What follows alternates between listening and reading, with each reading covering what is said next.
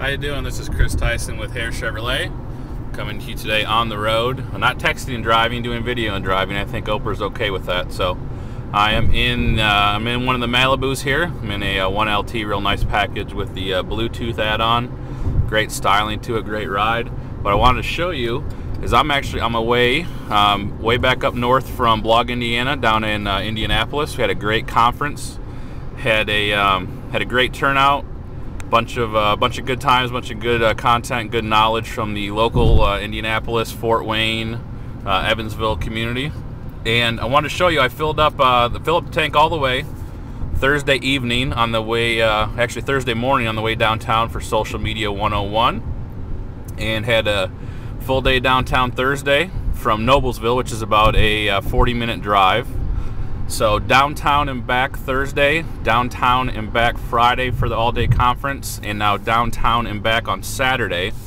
And as you can see, I still have half of a tank of gas left. So about a 20 mile, 40 minute drive. Uh, most of it is highway, but um, if you're uh, if you're a highway driver on your commute daily back and forth to work, as you can see, the fuel range, I still have 225 miles left here on this uh, on this Malibu tank of gas. So I know fuel mileage is real big these days, especially with gas prices, you know, fluctuating two and a half, three dollars, you know, maybe more by the time you see this video. So it's uh, that's a very, very important thing to not only have a little bit of power to be able to uh, merge onto that highway, but also have some some good gas mileage. So as you can see, half a tank of gas. So if you're driving uh, a car and you need to have a back seat where you can fit some kids and fit some stuff, still have a comfortable ride, but uh, but not drive something that eats up on your gas mileage, you might want to check out one of these Chevrolet Malibus. So come on by here, Chevrolet in Noblesville, Indiana.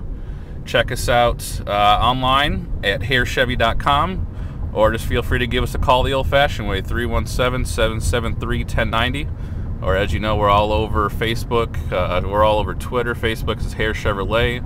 Twitter, our tag is at Hare Chevy. And if you're watching this, you know we're on YouTube. So come on by and get one of these Chevrolet Malibus with some wonderful gas mileage.